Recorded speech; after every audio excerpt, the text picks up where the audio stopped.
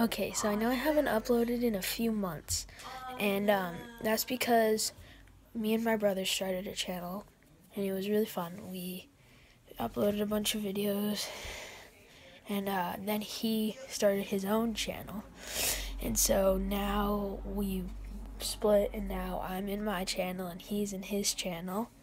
You want to go to go check him out, Erik R. Uh, and so yeah, now and now we're in our own channels.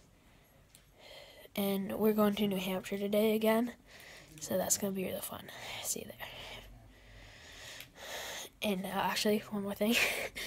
He is going to do a video about it too. Because he got a gopro uh, this christmas